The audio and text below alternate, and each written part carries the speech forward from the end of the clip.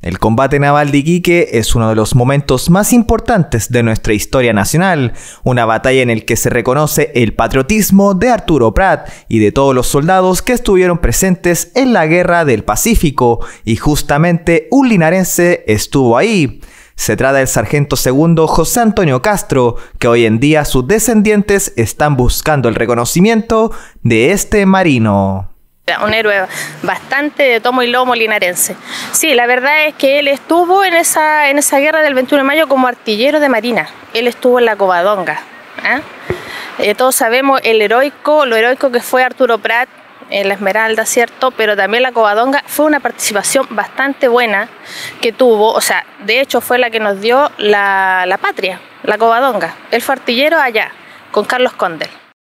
Luego de su paso en el combate naval de Iquique, Juanita nos menciona que el sargento segundo José Castro también pasó por el desembarco y combate de Pisagua en noviembre de 1879, en la toma del Morro de Arica y luego en la batalla de Chorrillos en 1881 y la de Miraflores en el mismo año.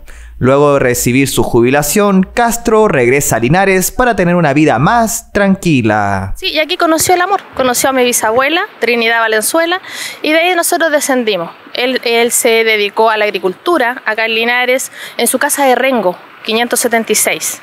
Eh, la verdad es que ahí falleció de tuberculosis y nosotros quedamos con el legado, con el legado de un gran héroe desconocido desconocido en la ciudad de Linares y por lo mismo agradezco esta nota porque así podemos dar eh, el reconocimiento que se merecen los soldados de ese, de ese entonces. En reconocimiento por su trabajo y compromiso por la patria, José Castro recibió tres medallas de honor. Para poder visibilizar su historia, Juanita y su familia crearon un cómics con la historia de su bisabuelo.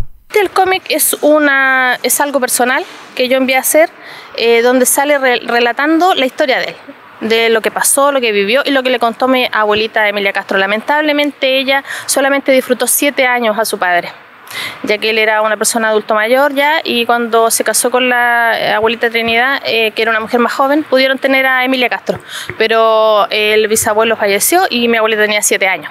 Y aquí cuenta la historia como ella, como el papá se la contó a ella, de, haber ido a, esta guerra a luchar por la patria, y eh, el orgullo que ella siente nos transmitió a nosotros.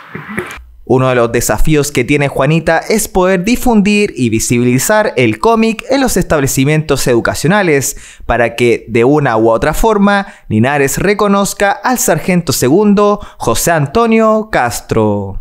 Eh, mira, la idea era masificarlo en los colegios, ¿ya?